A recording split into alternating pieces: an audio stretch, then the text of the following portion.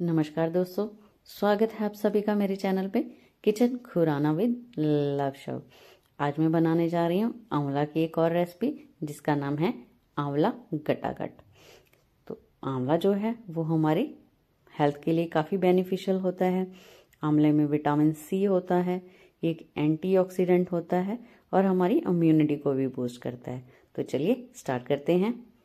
मेरे पास है आधा किलो आंवला, इसको धो करके ले लिया है मैंने। और सबसे पहले हम इसको बॉईल करेंगे। तो मैंने आंवले को कुकर में डाल दिया है।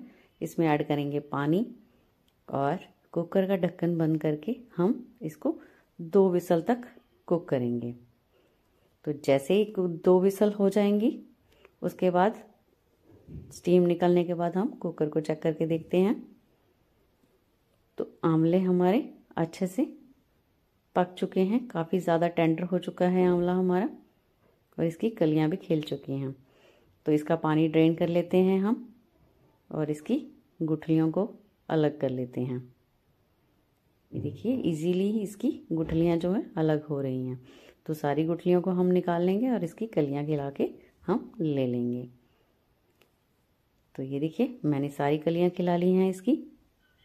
अब हम इसका पेस्ट तैयार करेंगे। आप चाहे तो इसको मिक्सर जार में चला के भी इसका फाइन पेस्ट तैयार कर सकते हैं।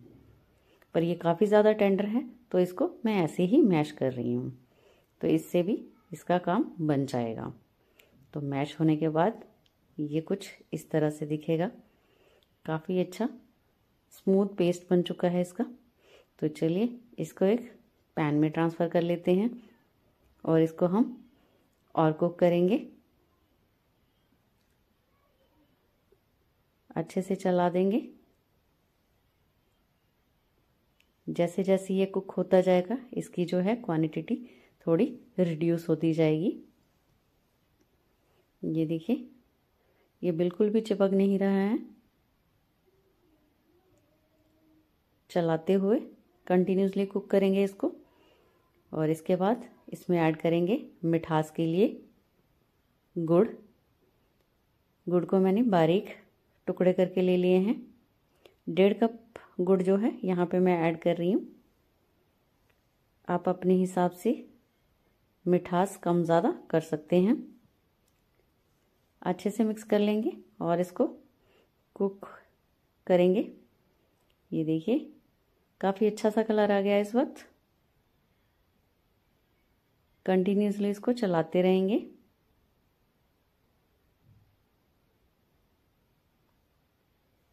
आंवला हमारा काफ़ी अच्छे से कुक हो रहा है। तो अभी कुछ मसाले डालते हैं। सबसे पहले जाएगा भुने हुए जीरे का पाउडर। उसके बाद इसमें ऐड करेंगे काला नमक। और अभी जाएगा काली मिर्ची का पाउडर। और इन सभी मसालों को अच्छे से हमने मिक्स कर देना है। आप चाहें तो इसमें आमचूर हिंग पाउडर का भी इस्तेमाल कर सकते हैं। तो अभी जो है आंवला काफ़ी अच्छे से कुक हो चुका है। तो इसको अब हम निकाल लेंगे। गैस की फ्लेम को ऑफ़ कर देंगे। मैंने एक प्लेट ले ली है और इसमें हम डस्ट करेंगे पाउडर शुगर और उसके बाद हम अपना आंवला इसमें ट्रांसफ़र कर देंगे। ये काफ़ी थिक है इस वक्त। तो इसको चीनी में अच्छे से कोट कर लेंगे ताकि मिठास अच्छे से इसमें मिक्सअप हो जाए। तो ये देखिए,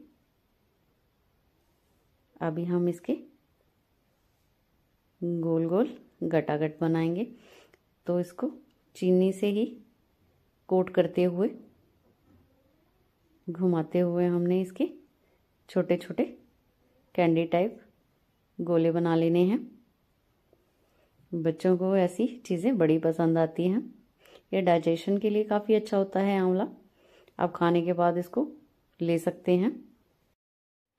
तो ऐसे ही हमने चीनी में इसको कोट करते हुए इसके सारे गटागट बना के तैयार कर लेने हैं।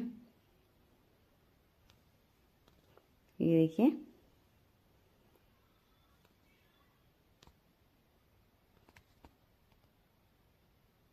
अच्छे से चीनी में कोट करते जाना है साथ साथ हमने। आप ऐसे हथेली पे थोड़ी सी चीनी डस्ट करके हाथ पे भी इसको इजीली बना सकते हैं। तो ये देखिए, हमारे गटागट बन के तैयार हैं। जो चीनी इसमें थी, उसको अच्छे से हमने हिला के इसके अंदर मिक्स कर लेना है। तो इससे इनकी अच्छी सी शेप आ जाएगी। तो ये हमारे आंवला के जो हैं, गटागट बन के तैयार हो चुके हैं। तो दोस्तों, आपको ये मेरी रेसिपी कैसी लगी? कमेंट करके ज़रूर बताइएगा। Thank you